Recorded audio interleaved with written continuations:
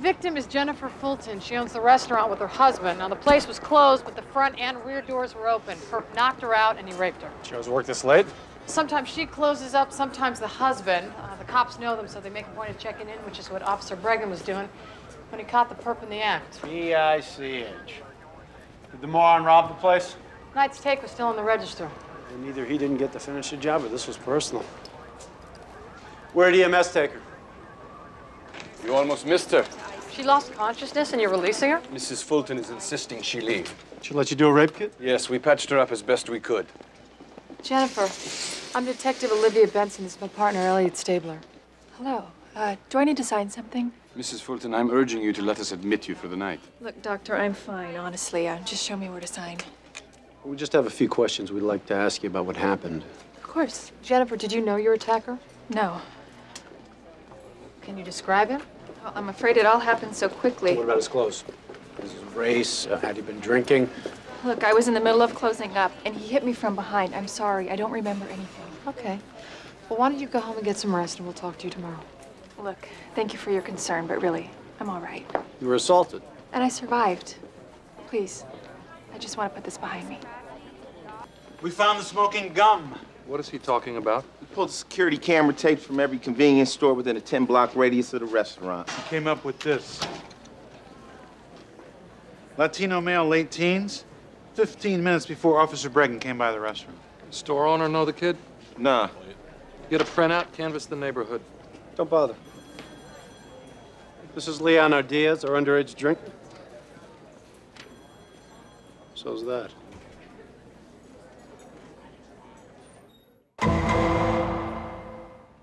Did you see the man who attacked you? I'm not sure. It was, it was dark. Take your time, Jen.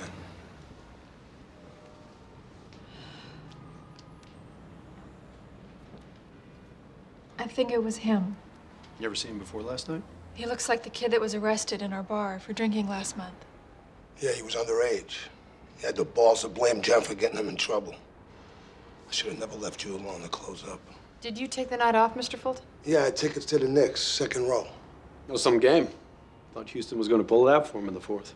Houston fouled out in the third. What game were you watching? I must be thinking about the game the night before last. Right. Are you gonna arrest the punk who attacked my wife? Remember her? Never seen her before. How about I refresh your memory? Cops busted you for drinking in her bar. Doesn't mean I roughed her up. You did the lady, left your tag, even faced down a cop. Only thing we don't get is why big tough hombre like you had to knock her out before you tried to rape her. Sounds like performance anxiety to me. I swear I didn't touch her. Touch something. Let go of me. I look like orange paint to you? Uh-huh. I might have guessed.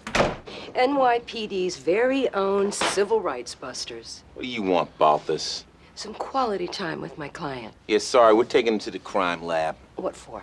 Test the paint on his hands. So this is where you fellas cook the books. Why isn't this in an evidence bag? Because it's my lunch. Oops. Well, look at this. Our crime scene. Stay away from there Balthus. Listen, Munchkins, I can see it now or I can see it in Discovery. Okay, I'll test the sample in the GCMS. Gas chromatograph mass spectrometer. Which will tell you that the paint on Leon's finger matches about a million cans of spray paint. So, there was a glass and an open bottle of wine on the bar, which you then dusted for prints. And whose did you find? Jennifer Fulton. Here's another piece of evidence a broken wine glass. And what does the report say?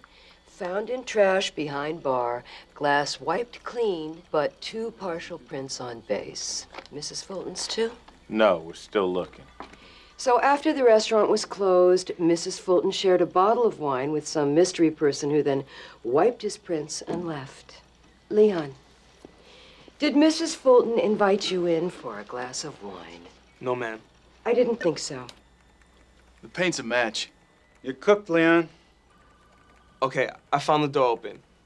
I went in and tagged the place.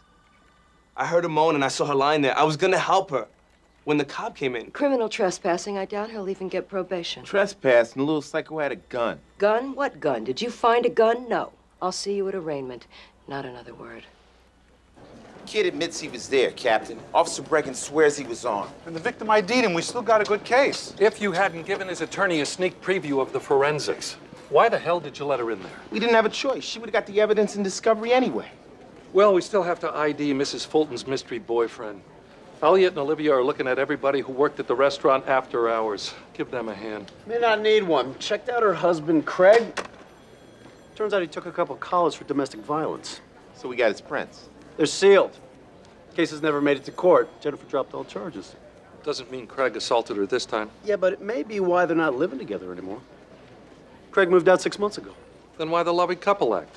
Because the restaurant franchise is in both their names. Mama Sue's head office in New Orleans just told me that if the Fultons split up or if they get into any legal trouble, they could lose the restaurant. So they're staying married for the money. Uh, no, there is no money. The head office says that the restaurant's in trouble, the profits are in the toilet. They were thinking of closing the place. That's a recipe for violence. I'll tell you who will have hubby's prints. State Liquor Authority. Get the lab to run them against the partials. And maybe you should ask Jennifer who she shared that romantic bottle of wine with. Why are you questioning me? I thought I was the victim here. Jennifer, the defense is going to dig into your personal life to undermine your case. You've got to tell me everything. I have. Well, you didn't tell me that you and your husband were separated. It's not official. I want a divorce. He doesn't. Look, I really don't want to talk about this.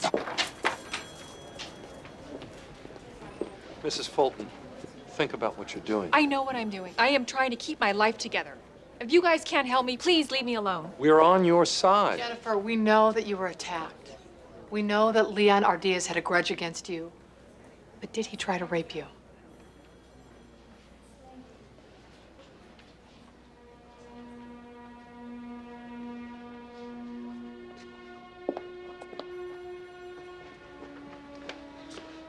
Jennifer, was it Leon? No, I'm sorry. It wasn't him. It was your husband, wasn't it?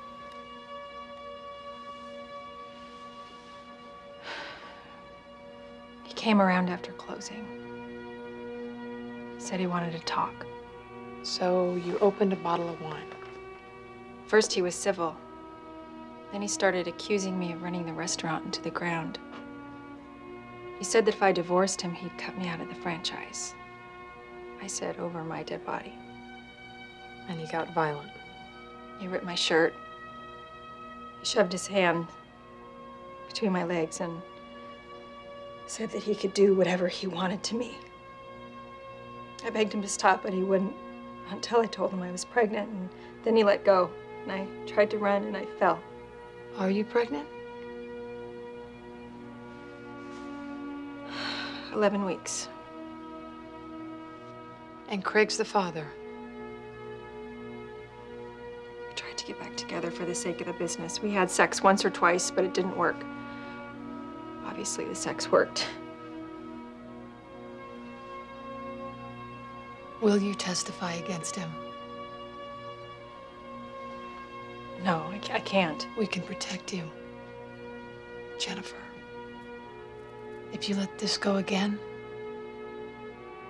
the next time he might kill you.